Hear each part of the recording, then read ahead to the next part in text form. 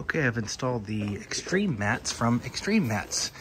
And so this is custom fit, um, but you do want to make sure you put these clips in. Now, the manufacturer says you could probably put them right here, but it was really hard, so I just did it on the sides. So you gotta slide it underneath the original flooring that's there, and then apply a little pressure. I used a screwdriver and kind of worked it way in there. So I did one there and one there, and then on this side, did one there, and then one right there and it looks really nice. I didn't get any kind of special colors because I felt black was enough, but you can get them with red trim and things like that. But uh, yeah, that's gonna work out nice.